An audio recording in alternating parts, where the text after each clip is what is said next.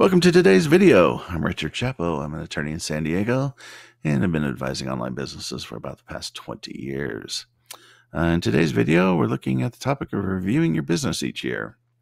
Uh, this is one of the final videos in uh, a series that we've been doing on starting and running an online business from a legal perspective, sort of a step by step approach. Um, all the previous videos that we've we've talked about really deal with legal requirements for your business and legal issues that you need to be aware of. Uh, this video does not. Um, this is more of a voluntary uh, suggestion, something that you might want to do. Uh, I do highly recommend it, but it's not a, a, legal issue. This there's no legal requirement that you do this. Uh, and just to be clear, we're not talking about an annual meeting for a corporation. This is just more of an annual step back um, from the daily grind of a business. Maybe take a, an afternoon uh, or a weekend, and uh, you know, kind of contemplate where you've come. Um, you know, during the last year with the business and where you you're going. Um, so who are we? Let's just start with who attends this meeting. Well, uh, you know, if you have a company and you have management and employees, you want all the critical people there. Uh, and you know, again, you may want to you know make it a weekend somewhere in a cabin. Everybody goes up there. You know, smartphones off, that kind of a thing. Uh, but you want all the critical people there so that you can discuss the various aspects of the business and get immediate feedback and immediate responses. What if you're a very small business? What if it's just you, or what if it's maybe you and a partner? Well, maybe what you want to do at that point is identify mentors that you have, or if you don't have any, you know, potential mentors, people you're impressed by. Uh, maybe your attorney as well, maybe your CPA as well, uh, and you want to possibly invite them to an afternoon lunch you know, you're going to have them sign a non-disclosure agreement, not your CPA or attorney that, that need to. They already have confidential obligations, but you know, a mentor, somebody of that sort, and then you can do the meeting, and you know, people can provide their input. Uh, mentors are very good because they're an outside source. You know, they're they're a bit independent. They haven't been working within the business, so they may not have the same biases that um, you know people who have been in the business would regardless so you want a group of people um, so you can get feedback and get a feel for kind of where the business is going. Now if you've been doing uh, the meetings year after year you want to obviously pull up last year's notes. Uh, and you know at the end of the meetings you should probably write up a summary of what what happened discussion points you know issues and plans. Uh, so you would pull up last year's notes and go through them and then look at the business. How'd you do did you meet the projections? Did everything go as you thought it would? Uh, did you, you know, resolve um, problems in, in, you know, difficult areas? Uh, you know, did products do as well as you thought? Um, you know, so on and so forth. You, are just basically looking at uh, did you get from point A to point B as planned? If not, why? Uh, and what were areas of weakness? Now, the point of the meeting is not to blame people or, you know, any of that. It's just, you know, every company has inefficiencies, even if it's just one person. Uh, you know, maybe you need to outsource more work, um, you know, or if it's a larger company, you know, maybe, uh, you know, the, the division of labor isn't, isn't done correctly. You know, there are always areas to improve. That's really what you're trying to look at there. Uh, and then, you know, if things didn't go well, well, why not? What were the mistakes that were made? Uh, you know, and how do you go about resolving those so they don't happen again? Now, you're not always going to be able to come up with perfect solutions to these things, but again, we're really just trying to, um, you know, recognize that there may be some issues, positive and negative, you know, and how do those apply to the future of the business. And that's why an annual review could be very important because if you don't identify those each year, you know, you could end up five or ten years down the line, you're still having, you know, all kinds of problems. The business isn't nearly as, you know, profitable as you had hoped and the reason for that is because you're making the same errors over and over and over again. Or maybe you had a great year one year because you did something specifically, but then you didn't replicate it in future years. And that would really be a bummer. So, um, so what's the actual agenda for the meeting? Well, honestly, that's up to you. Um, you know, there's it really needs to be specific to your business.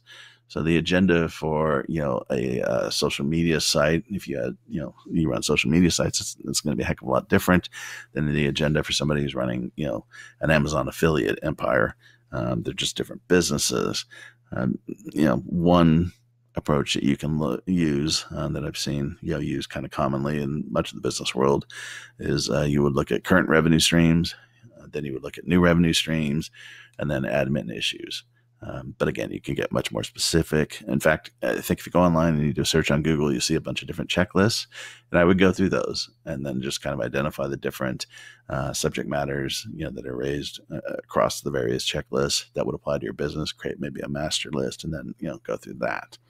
Um, but if we go with the the small agenda that I had mentioned, current revenue streams. So basically, what you're going to do is, you know, every business is going to have uh, one or more revenue streams. Okay, well, let's focus on each one of those uh, and how they do. Uh, if they didn't do well, why? You know, what was the problem?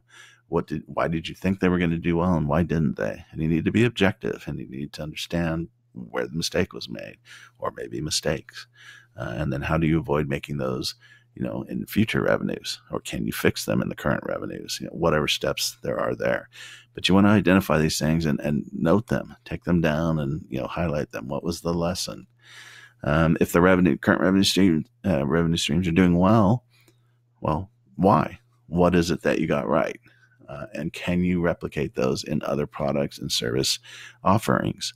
Um, remember, the thing with business is, you know, if you hit on a successful formula, don't abandon it. Um, you know, I mean, if it's really good, keep doing it and, and see if you can carry it over to, um, you know, other products and other services. If you if you developed a marketing funnel, um, you know, or something online that is the schnizzle, you know, it's just killing it. Well, use it for your other products and services. You know, you don't have to reinvent the wheel every time. And in fact, if you do that, you're probably going to lose your hair and you know everything else because you're going to be so stressed out of your mind.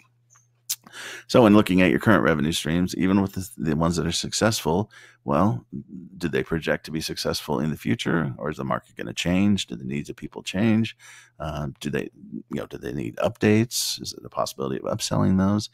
Uh, and that may all sound rather vague, but it's it's important, and it's important to focus on uh, because if you don't, particularly with the internet, uh, you know, online businesses they fail all the time because the internet evolves incredibly quickly incredibly quickly. If you looked at what the internet was like in 2000 versus what it's like now, I mean, it's just a completely different world. In fact, let's look at 2000. Who was one of the biggest companies in the world? AOL, America Online. You know, we had the dial up modem era and they would send out those awful discs, you know, that would let you get it, you know, get online free for, you know, whatever it was, five days, and then you started, you know, being required to pay. But AOL pretty much dominated the online landscape. Not Google, not any of these other companies. It was AOL. And did they evolve? Did they have an annual meeting where they looked at their business and thought about, you know, their revenue streams and do we need to, um, you know, update and, and to evolve with the internet? And you'd have to say they didn't uh, I mean, maybe they had the meetings, but they certainly didn't evolve. They certainly didn't, um, you know, understand how quickly the internet was going to change as broadband hit it.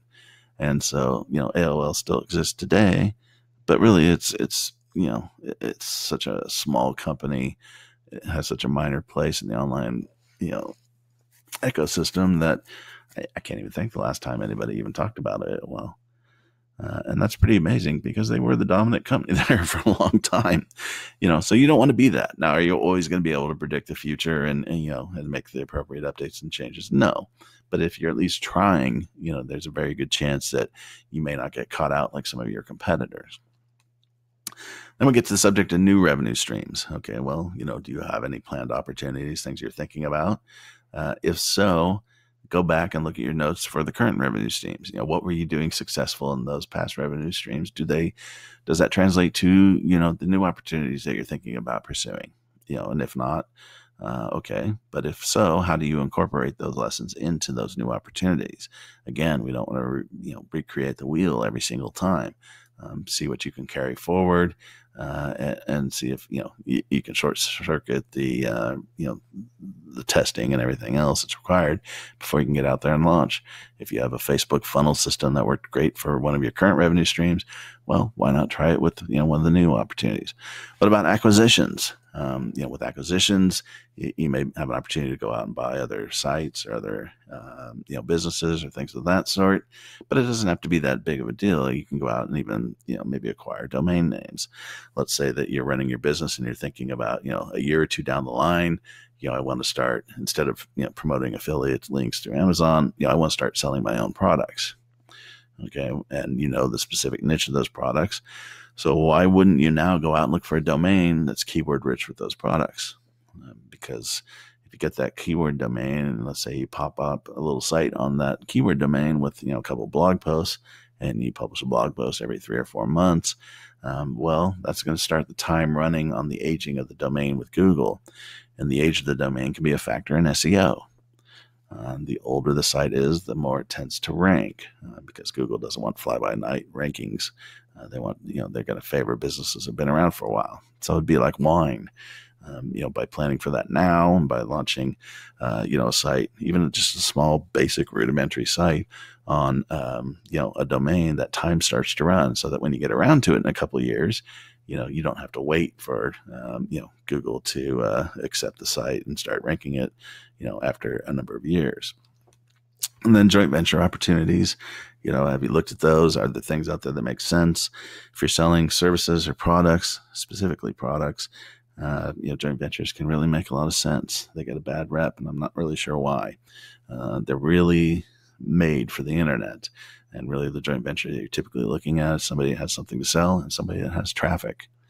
And, um, you know, if you pursue that, and you're going to have to give up significant amount of your revenues, you know, maybe half. But, you know, if you have $5 million in sales, would you rather get half of that revenue um, versus, you know, a situation where you do it all yourself and you only generate $50,000 in sales? Well, $2.5 million in revenues seems to be a lot more, uh, a lot more fun than uh, $50,000 to me. So you might think about that. Uh, so pursuing a JV opportunity, you know, in that situation, it really the game comes down to identifying, you know, who those people with traffic would be. Uh, you know, they're referred to by different names. Some call them super affiliates, but um, if you can identify them and work out a deal, you know, you can start generating a heck of a lot more revenue than you had anticipated.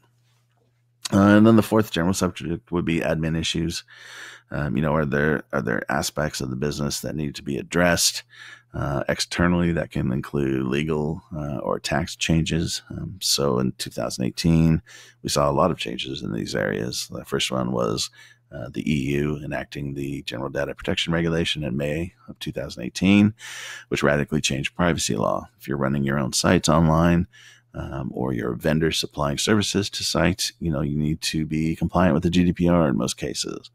Um, you know, there's situations where you don't if you're not, uh, you know, in the EU at all. If you're not servicing people in the EU at all, you know, then you know you're probably going to be able to avoid the GDPR. But it has a territorial scope provision that that kind of stretches the net far and wide. Uh, so you need to understand whether you have to comply, and if so, what you need to do.